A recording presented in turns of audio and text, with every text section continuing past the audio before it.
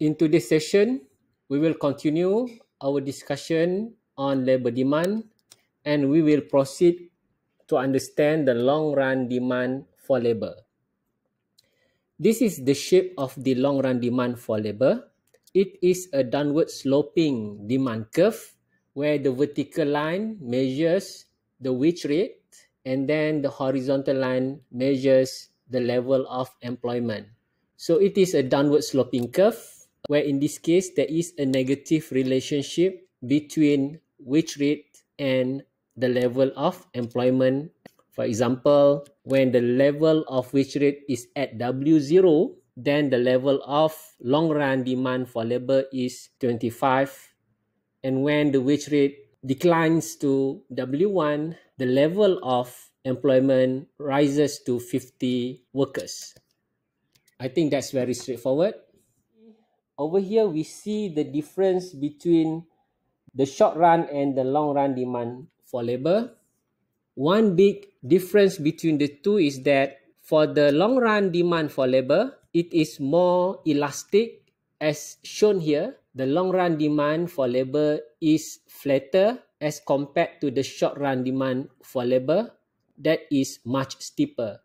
When we measure the elasticity of demand for worker in the long run, we will find that the coefficient will be more than 1 in general. It shows that the long run demand curve is more elastic as compared to the short run demand curve for labor. Because the short run demand for labor is steeper, that means firms are less sensitive to the wage change in the short run period.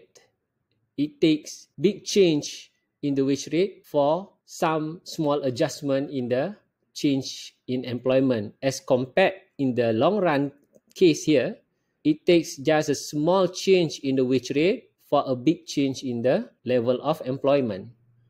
The reason for this is that in the long run the firm can take full advantage of the economic opportunities as a result of the change in the wage rate the firm has more time to adjust in the long run as compared in the short run. So that's the common reason why when we calculate the elasticity of demand between short run and the long run for workers, we will find generally the following observation.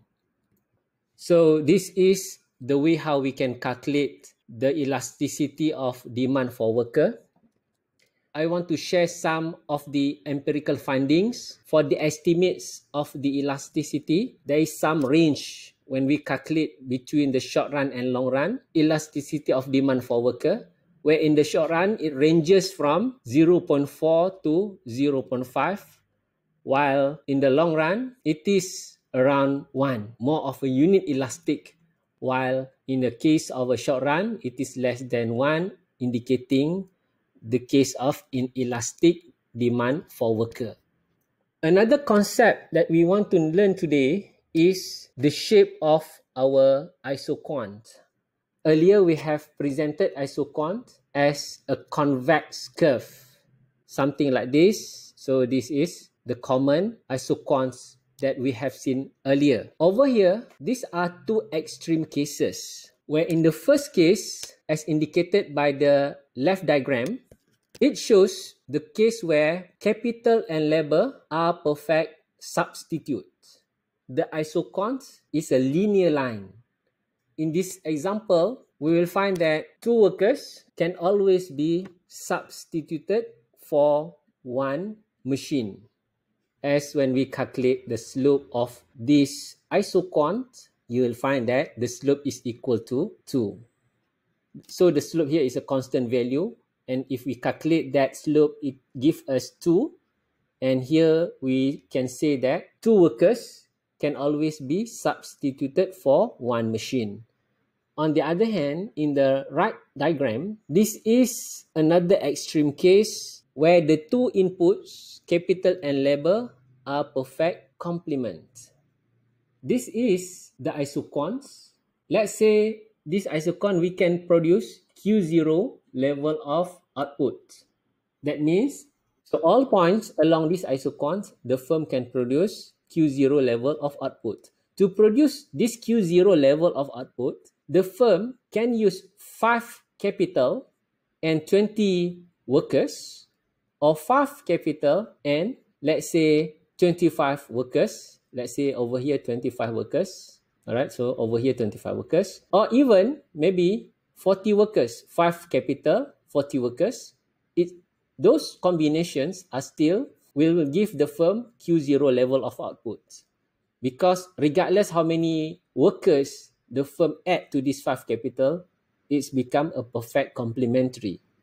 Likewise, the firm also can employ 20 workers to work with 5 machine or even more than 5 machines. Still, the firm can produce Q0 level of output. We can hold capital at 5 units and we can keep adding more workers or we can hold workers at 20 and we can keep adding more capital. That would still produce the same level of output Q0. In that context, we have a case of a what we term as the right angle isoquant. So in this case, there is no substitution effect. A change in which does not alter the input mix at all. So that's what we can say in this case.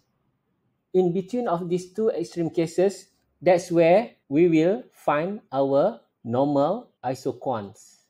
As I show you here, this is the normal isoquants that we usually see. Another important observation we find here is that the more curved the isoquant, the smaller will be the substitution effect. Over here, there is no substitution effect because this is totally a right angle shape. This is much flatter isoquant and this is the extreme case, a linear isoquant. So with that understanding, let's move on to the concept of elasticity of substitution. What is the elasticity of substitution? It gives us the measure of the curvature of the isoquants.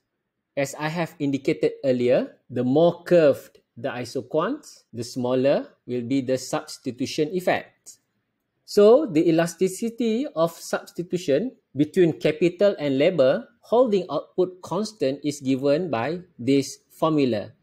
The percentage change in the capital worker ratio over the percentage change in the input price ratio.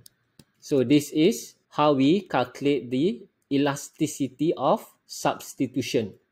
If you use that elasticity of substitution, it will give us a positive number and that number tells us the percentage change in the capital labor ratio resulting from a 1% change in the ratio of the input price. So zero coefficient means that the inputs are perfect complement and that's indicated by the right angle shape of the isoquant. Infinite if the isoquant is linear. This is a case of a perfect substitute between the inputs, capital and labor. So that's the understanding we get from calculating the elasticity of substitution.